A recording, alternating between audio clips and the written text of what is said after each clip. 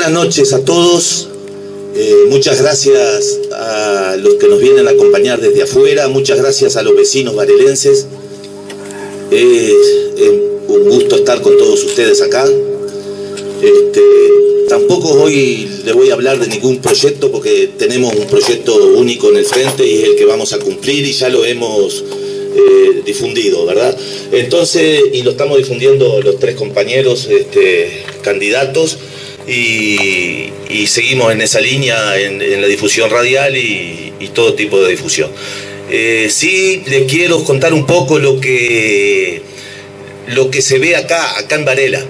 Eh, hemos andado recorriendo los barrios, hemos andado recorriendo casi toda la ciudad, este, y les puedo contar que hemos logrado eh, recabar, encontrar este, un sentimiento casi que único en la sociedad varelense, en, nuestros vecinos, ¿verdad?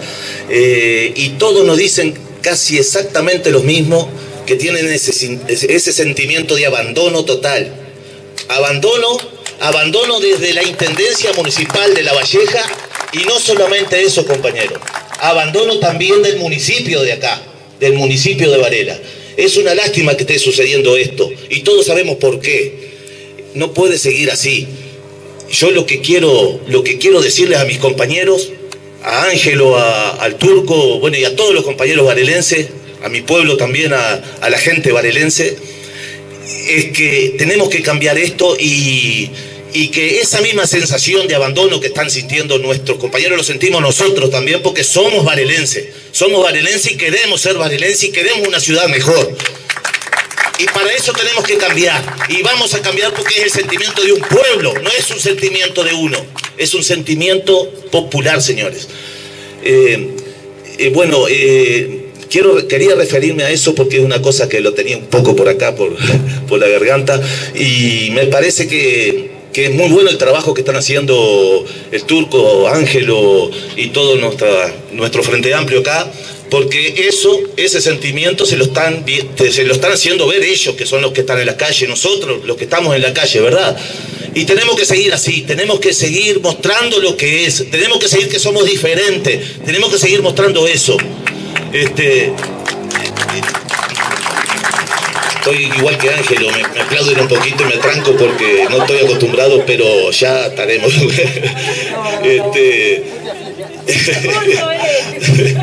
este, eh, bueno, eh, simplemente eh, quiero recabar eso y rescatar esta unidad, esta unidad porque los mismos, los mismos vecinos de otros partidos nos han dicho acá, acá, en la calle, acá enfrente del comité, nos han dicho que les encanta cómo trabajamos nosotros todos juntos, así, de una, reconocen esa unidad y que les encantaría que los partidos ellos también fueran iguales, pero no, no lo han logrado en 20, 30 años y no lo van a lograr nunca porque no tienen el espíritu, carajo, no tienen el espíritu que tenemos nosotros. Nosotros somos frente al Plita, somos frente al Plita y somos varelenses y somos de la Valleja. Es bien claro eso, eso somos. Muchas gracias, estoy re caliente, pero está. Gracias, cortito. Eh, Cecilia Bianco manda a todos los varelenses y, y, visitantes un cálido y afectuoso saludo y la excusa de no haber podido estar presente en este acto por motivos de agenda.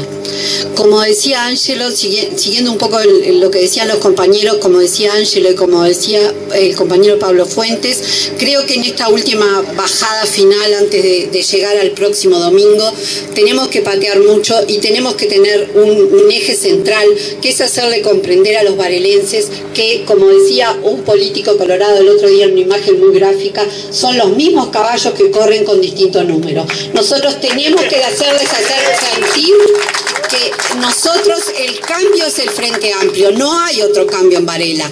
Nosotros queremos gobernar desde la Intendencia, desde el municipio, en una forma en una distancia corta, en un municipio y una intendencia de cercanía. Una relación de cercanía con la gente que se termine la relación de esa relación que tenía de amiguismo, de clientelismo, si te voto te doy la changa y después me tenés que votar, si no estás en mi lista te corro, porque hace poco corrieron una compañera que hacía 14, compañera de ellos, que hacía 14 años que estaba trabajando y por primera vez se negó una lista y en 14 años en esta intendencia no se adquiere ningún derecho laboral. Eso el Frente Amplio lo va a cambiar, es el único capaz de cambiarlo.